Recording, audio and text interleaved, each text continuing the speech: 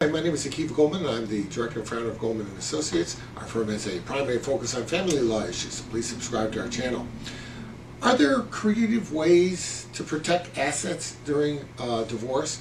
There may be. I mean, it really depends on what the nature of the asset is. If it's truly a marital asset, in that it belongs to both parties, you could well expect that the court is going to make sure that a, a fair division occurs protecting those interests. What goes on though with families is sometimes you got informal interests.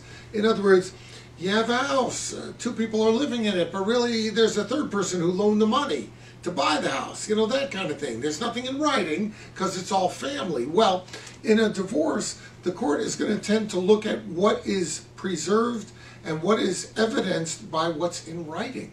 So if you got some side deal going on where you borrowed money for the down payment from your uncle and he really has an interest in it but it's not documented, you better make sure that as this divorce is ramping up, that there be a promissory note signed, that there be appropriate documentation of any third party interest. Because if not, the court's going to look at it like it's only the husband and wife who have an interest and is going to divide it that way. And it could be that a person who also has an interest is going to be left out in the cold on that deal.